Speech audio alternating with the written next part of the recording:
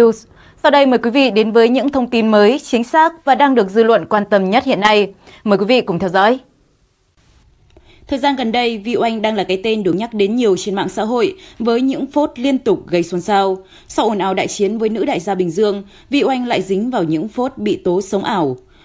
Gần đây nhất, Vi Oanh đăng ảnh ngồi xem bóng đá cùng chồng đại gia, nhưng lại bị một dân mạng soi ra chiếc bàn trà trong phòng khách nhà Vi Oanh, có giá hơn 150.000 đồng. Trong khi trước đó, nữ ca sĩ khoe chồng có khối tài sản hơn 1.000 tỷ đồng. Nhiều người nghi ngờ về độ giàu có của nhà vị oanh khi có sự khập khiễng từ lời nói với giá trị nội thất trong căn nhà.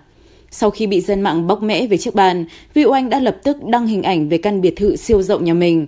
Không chỉ bể bơi, phòng thờ lớn mà tất cả nội thất trong căn nhà đều mang phong cách cổ điển, xa hoa, ngầm khẳng định sự xa hoa giàu có của mình.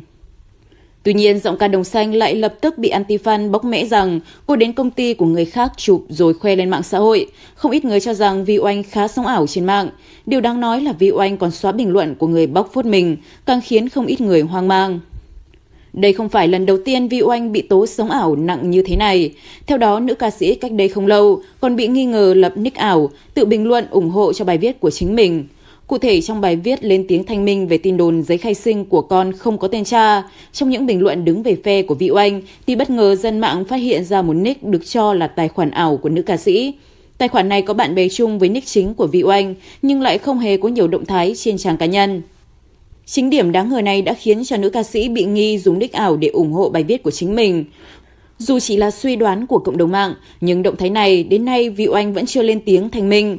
Vốn là người không chịu để yên những lời mỉa mai của dân mạng, vị oanh lần này lại tự động bỏ quan điểm đáng nghi này, đã làm dấy lên hồi nghi ngờ trên mạng xã hội. Chưa dừng lại ở đó, tần suất Vi Oanh bị tố sống ảo vẫn còn xuất hiện trong hoàn cảnh bị tố nhận vơ cho ông xã đại gia. Cụ thể, Vi Oanh đăng bài viết khoe về chồng doanh nhân của mình, là người đầu tiên trên thế giới dẫn nước biển nuôi tôm. Thế nhưng dưới bài viết, dân mạng đã phát hiện ra một điểm đáng ngờ là trong quá khứ, một bài viết trên báo Nghệ An đã từng viết về một người nông dân có sáng kiến dẫn nước biển nuôi tôm từ năm 2011. Điều này khiến Vi Oanh vướng vào chỉ trích nổ quá đà trên mạng xã hội khi khoe chồng của mình. Dù ngay sau đó vị oanh đã lên tiếng giải thích rằng mọi người hiểu lầm ý của cô, ông xã của nữ ca sĩ làm ống nhựa HDPE 1800 dẫn nước biển vào trại nuôi tôm này lớn và tiên tiến khác so với loại nhỏ trước đây, song vị oanh vẫn không thoát khỏi những lời chỉ trích của dân mạng. Vi Anh mắng bà 50 chơi bẩn, tung tin giả biệt thự của cô. Và tối ngày 13 tháng 11, Vi Anh đăng tải loạt ảnh khoe nhiều ngóc ngách trong biệt thự hoành tráng, chuẩn dân nhà giàu. Cờ người lộng lẫy của nữ ca sĩ khiến nhiều người không khỏi trầm trồ. Nhưng ngay sau đó, mạng xã hội lại rầm rộ loan tin Vi Anh nhận vơ biệt thự. Đây thực chất là trụ sở của một công ty ở Hải Phòng. Trước ồn ào không hay, Vi Anh khẳng định 100% đây là cơ ngơi của tôi. Nữ ca sĩ cũng cho biết nếu ai đó cho rằng ngôi nhà này cô mượn thì cứ chụp các góc nhà và đưa ra giấy tờ để chứng minh. Đến đến tối ngày 14 tháng 11, giọng ca đồng xanh tiếp tục đăng đàn thách thức Antifan đưa ra giấy tờ chứng minh ngôi nhà này cô mượn. Vi Anh chia sẻ, đây là nhà vợ chồng Vi Anh đứng tên chính chủ, ông xã Vi Anh là anh cả, lo cho các em còn không hết. Ừm công ty HL nhà chị đó cưng, giỏi soi đấy, PR cho chị hả, chị cảm ơn nha. Nhà hiện để không vì bận quá chưa về được các em nha, chỉ có vài ba người quét dọn lau chùi và vài người bảo vệ thôi nhé. Thỉnh thoảng vui vui thì về tí thôi, vẫn là yêu cái ngôi nhà kỷ niệm đang ở thôi nè. Không chỉ vậy, Vi Anh còn móc mỉa thêm, nhớ tìm cho ra giấy tờ nhà úp lên cho mọi người tin lời các em, chứ nói phong long nửa năm rồi vẫn thế. Người thật việc thật nên cứ yên tâm không hại chị được đâu nha. Mà tôi đừng tìm mất công ra tên vợ chồng chị lại buồn đau nữa. Vội gì, có nhiều năm sau để chị trích in nhà cho các em xem, để coi có tên chủ nhà nào dám ho he không nhé. Ai đời nhà mình đứng tên chính chủ mà chúng gan tới mức nhận bừa, tố lại mới buồn cười chứ, u là trời. Nữ ca sĩ cũng lấp lửng cho thông tin giả này là do bà 50 tuổi đứng sau. Vốn dĩ Viu Anh không muốn khoe khoang, nhưng trước chiêu trò vu khống bẩn, cô buộc lòng phải thanh minh. Viu Anh nói thêm, xin lỗi mọi người, trước giờ em vốn muốn giữ cho mọi thứ cho riêng mình, không dám khoe gì vì mình chỉ là một hạt cát trong xã hội, và em cũng không nhìn cuộc đời qua lăng kính vật chất để kèn cựa, so sánh, làm nhục nhau như một bà 50 tuổi nào đó. Nhưng gần đây, vì bàn tay bẩn của ai đó mà gia đình em liên tục bị tìm cách vu khống, hạ uy tín, ảnh hưởng đến công việc nên em buộc lòng phải thanh minh những việc chúng cố tình chọc ngoáy này. Bà 50 tuổi nào đó mà Vi Anh nhắc đến ở đây khiến nhiều người nghĩ ngay tới bà Phương Hằng bởi thời gian gần đây những màn đáp trả từ cả hai bên vẫn đang nóng nhất trên các trang mạng xã hội. Được biết sắp tới bà Phương Hằng sẽ tuyên bố sẽ đi xét nghiệm với cậu con trai út theo lời thách thức của Vi Anh. Rất có thể sẽ còn lòi ra thêm rất nhiều những tình tiết hấp dẫn khác. Quý vị hãy like và tích chuông kênh ID News để cùng chúng tôi cập nhật những thông tin mới nhất. Chiều 14 tháng 11, bà Nguyễn Phương Hằng tổ chức buổi livestream mở rộng tại khu du lịch Đại Nam. Ngoài phát trực tuyến trên các nền tảng online, từ sớm hàng trăm người ủng hộ nữ doanh nhân đã xếp hàng để lắng nghe cuộc trò chuyện. Không đơn độc như mọi khi, lần này đích thân đại gia Dũng Lò Vôi cũng xuất hiện và giải đáp các thắc mắc dư luận. Ông Dũng là Vôi thừa nhận, suốt nhiều tháng qua mình không sử dụng mạng xã hội nên tất cả các drama chỉ lắng nghe qua lời kể của vợ. Phần lớn thời gian này ông chủ yếu xây dựng nhà máy oxy và găng tay y tế để cứu giúp đồng bào. Tuy nhiên, trước những nguồn tin bịa đặt, xúc phạm nhân phẩm và công phá vào quỹ từ thiện hàng hữu, điều này bắt buộc Chủ tịch công ty Đại Nam phải lên tiếng. Là một trong những cá nhân bày tỏ quan điểm về quỹ từ thiện Hằng Hữu, nhà báo Hàn Ni liên tục có những động thái đáp trả bà Phương Hằng trên mạng xã hội. Trên sóng livestream, lần đầu tiên ông Huỳnh Uy Dũng nói rõ tin đồn cướp đất, kêu gọi từ thiện như cáo buộc. Tôi nghe nói cô Hàn Ni vừa là nhà báo vừa là luật sư, chắc là có học, chắc được dạy dỗ ở một tờ báo nào đó đàng hoàng nhưng phát biểu. Hôm nay tôi sẽ chính thức nhờ luật sư làm đơn truy tố về hành vi vu khống và xúc phạm làm hại những doanh nghiệp doanh nhân trong thời kỳ kiến quốc. Tôi rất khó chịu, lo lắng về loại nhà báo hay mặt, đang đàn sen che đậy trong cơ quan nhà nước nhưng không phục vụ cho nhân dân, sự phát triển của xã hội. Cô nói rằng tôi đi cướp đất nhân dân. Xin thưa, đất nước chúng ta có pháp luật, không ai cướp của ai được. Tôi nói thật, động tới Đại Nam, động tới quỹ từ thiện hàng hữu là giống như chạm vào trái tim tôi, vì tôi xác định nó là của Bách Gia Chăm Họ, của tất cả mọi người.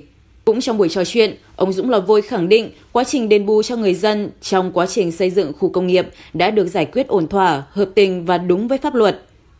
Tôi xin thưa, tôi đang sống tại đất Bình Dương và khi tôi nói chuyện ở đây, toàn dân Bình Dương nghe được. Một Huỳnh Uy Dũng, một chiến sĩ công an từ 20 tuổi đã về đây làm kinh tế. Nếu ai là dân ở đây sẽ biết, nếu một miếng đất người dân 10 đồng mà tôi đi mua đền bù từ 12 đồng trở lên thì tôi sẽ đền bù. Nếu 9,9 đồng hay thấp hơn thì tôi không làm, tha tôi ở không. Tôi hiểu thế nào là nghiệp, không thể nào lấy đất người ta 10 đồng mà trả 9 đồng, tức là trong đó tôi cướp đoạt hết của người ta một đồng. Cái nghiệp đó nhiều đời, nhiều kiếp sau không trả nổi đâu. Ai biết được cách đây hơn 25 năm, công việc đi đền bù đất đai ở tại huyện Dĩ An, Bình Dương này, nhà cũ của người dân tôi đền bù nhà mới, mộ đất đền bù thành mộ xây. Giá trị của đất thuộc cư dù 150 mét vuông và tôi chuyển đổi thành 300 nghìn để chuyển đổi giá trị đất đai. Tôi muốn chia trước một phần lợi nhuận công việc mình làm mà người dân đã hy sinh cho tôi trên mảnh đất, hy sinh một giá trị thiêng liêng để góp phần phát triển đất nước. Bên cạnh nhà báo Hàn Ni, vợ chồng bà Phương Hằng một lần nữa chấp nhận lời thách thức xét nghiệm ADN mà ca sĩ Vi Oanh chia sẻ trước đó. Đại gia U50 nhẹ nhàng nói giọng ca đồng xanh đang tạo nghiệp. Ông Dũng là vôi bày tỏ, cuộc sống của vợ chồng tôi và con cái là một niềm tin to lớn. Tôi xin cảm ơn cô ca sĩ gì đó. Tôi chỉ nói một điều là cả trái tim tôi dành cho vợ và cho con và chia sẻ cho cộng đồng. Hữu là bản sao của tôi lúc bé. Nếu nói về nhà Phật, cô ấy đang tạo nghiệp nên có khi người ta hay nghĩ bụng ta ra bụng người, người ta gieo cái gì sẽ gặt cái nấy. Niềm tin trong gia đình là một điều rất quan trọng. Hạnh phúc không phải là một công thức có được. Tôi, con tôi, vợ tôi, xin thưa, quý vị muốn đi thử ADN lúc nào cũng được. Chiều ngày 14 tháng 11, vợ chồng CEO Đại Nam đã có buổi live stream. Tại đây, ông Dũng là vôi bất ngờ bị hỏi về việc bị ca sĩ Vi Oanh từng yêu cầu xét nghiệm ADN giữa ông, cậu con trai Hằng Hữu và 20 người đàn ông khác. Ông Dũng là vôi chia sẻ, tôi xin cảm ơn cô ca sĩ gì đó, cả trái tim tôi dành cho con, cho vợ và chia sẻ cho cộng đồng. Hữu là bản sao của tôi lúc bé, nói chung là không có gì sỉ nhục. Cô ấy đang tạo nghiệp nên người ta nghĩ bụng mình ra bụng người. Người ta gieo cái gì sẽ gặt cái nấy. Niềm tin trong gia đình rất quan trọng. Tôi, con tôi và vợ tôi nếu muốn thử ADN lúc nào cũng được. Nhưng mà niềm tin vợ chồng chúng tôi thiêng liêng lắm. Bà Phương Hằng cũng nói thêm, Cô ấy nói anh với Hữu phải đi thử ADN với 20 người đàn ông nữa. Đây là vấn đề pháp lý và tôi sẽ đi thử ADN để tôi khởi kiện với vị oanh. Trước đó khi bị CEO Đại Nam yêu cầu đi thử ADN của các con với chồng, vị oanh phản bác. Mình khẳng định gia đình mình một dòng máu đỏ da vàng, một bố một mẹ, chứ không phải hợp Trung Quốc Hoa Kỳ như nhà ai đó. Sao lại suy bụng ta ra bụng người, rồi bắt nhà người ta rồng rắn làm theo ý mình vậy nhỉ? CEO Jack nghĩ sao nếu bỗng một ngày đẹp trời, tôi bắt bé út của bà phải đi xét nghiệm ADN với chồng bà và 20 người đàn ông khác. Rõ ràng như vậy bà bỗng hóa thành nô lệ của tôi, bỗng nhiên phải làm những gì tôi nói đúng không nào? Vậy thì động não và đặt mình vào vị trí một chút nha CEO Jack sắp ăn hành ơi. Biết sắp thua tôi pháp lý nên làm loạn cho đỡ nhục đây mà. Cái nết của bà tôi với tất cả mọi người lạ gì? Ai tin lời bà, dành thời gian quý giá còn lại bên gia đình đi nào. Hiện tại cuộc chiến của CEO Đại Nam và ca sĩ Vi Oanh vẫn đang nhận được nhiều sự chú ý của nhiều người. Những thông tin vừa rồi cũng đã kết thúc bản tin của ID News. Cảm ơn quý vị đã quan tâm theo dõi. Đừng quên bấm đăng ký và tích chuông kênh để không bỏ lỡ những thông tin mới nhất mỗi ngày. Còn bây giờ, xin chào và hẹn gặp lại quý vị. Các bạn nhớ đăng ký kênh và bật chuông thông báo để nhận được video mới sớm nhất nhé.